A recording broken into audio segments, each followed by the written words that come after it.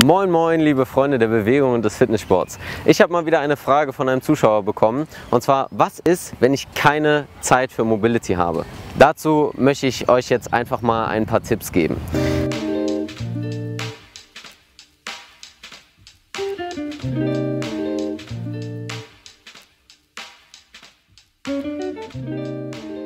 Wenn ihr wirklich morgens aufsteht, zur Arbeit fahrt und von der Arbeit vielleicht noch einen zweiten Job machen müsst oder eure Kinder abholen müsst oder zur Weiterbildung fahren müsst, egal was, versucht eure Mobility nicht zu vernachlässigen. Das ist das Wichtigste, was ihr am Tag machen könnt, neben Geld verdienen natürlich. Also, wie kann ich, wenn ich keine Zeit habe, meine Mobility verbessern? Punkt Nummer eins: Nimm dir morgens einfach mehr Zeit. Steh ein bisschen früher auf und fang dort schon mal an, deine Basics zu legen für deine Mobility. Alle Gelenke einmal bewegen, einmal ein bisschen in den Flow kommen.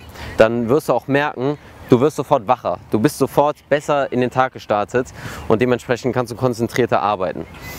Punkt Nummer zwei ist, wenn du kurze Pausen hast und dir einen Kaffee holen gehst oder du irgendwie in ein anderes Gebäude musst oder den Kunden wechselst, dann nimm dir fünf Minuten Zeit. Fünf Minuten reichen wirklich, um deinen ganzen Körper mal zu bewegen.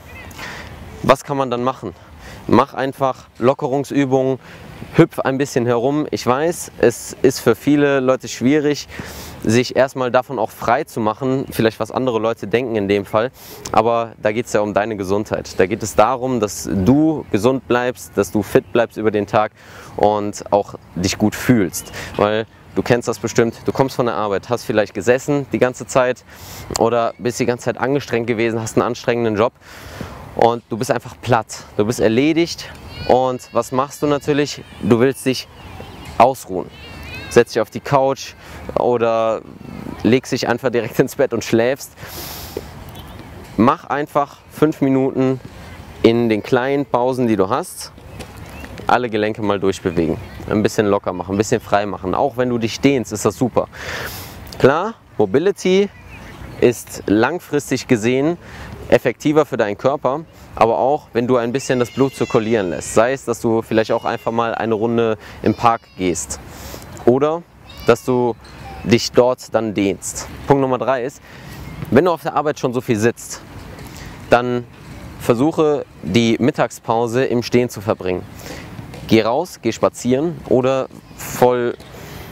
Punkt Nummer drei ist, dass Punkt Nummer drei ist, wenn du schon im Job die ganze Zeit sitzt und du das Gefühl hast, du willst jetzt einfach nur mental runterkommen, dann ist es besser für dich und deinen Körper, dass du dann stehen bleibst. Bleib stehen, nimm einfach eine andere Position ein und komm aus dieser Sitzhaltung heraus.